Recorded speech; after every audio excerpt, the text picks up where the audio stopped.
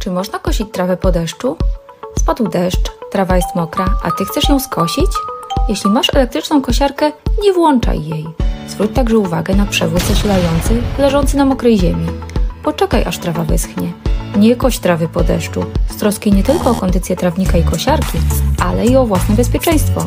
W przypadku zwarcia, tobie i twoim najbliższym grozi porażenie prądem.